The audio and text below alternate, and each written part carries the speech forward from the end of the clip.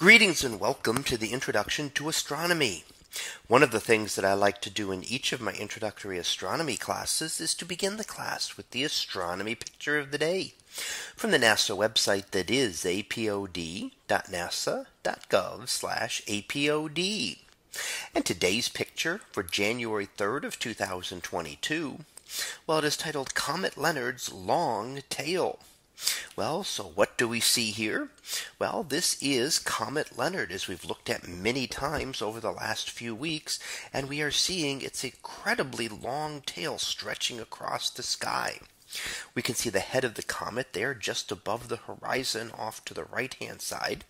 And the tail stretches across most of the image, and in fact is so long that it could not be seen with a telescope or binoculars.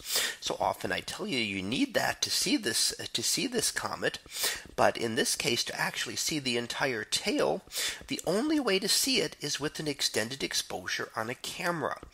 Only thing that has a wide enough field of view to be able to pick pick up the entire tail, and the sensitivity to be able to see faint objects by leaving the camera open, camera lens open for a long period of time.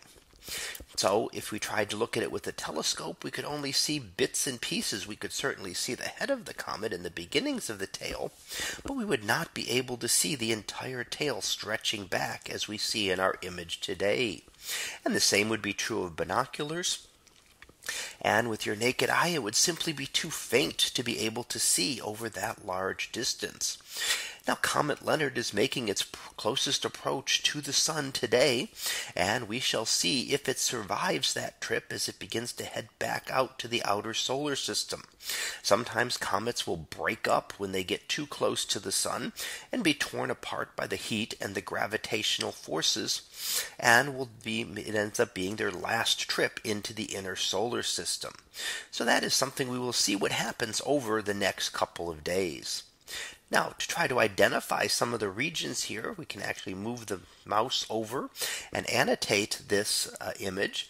And we can see some of the regions there, the constellations of Sculptor off to the upper left hand side, and the comet tail going through Pisces Austrinus as well uh, there in the middle of the image. So we can actually see some of the southern constellations that this is in the process of passing through as it moves through the solar system.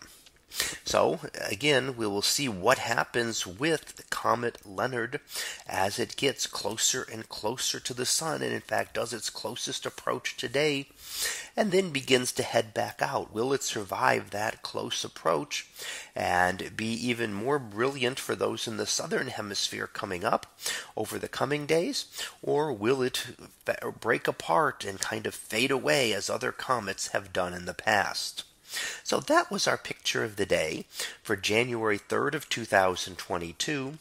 It was titled Comet Leonard's Long Tail.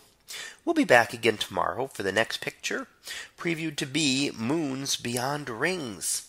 So we'll see what that is about tomorrow. And until then, have a great day, everyone, and I will see you in class.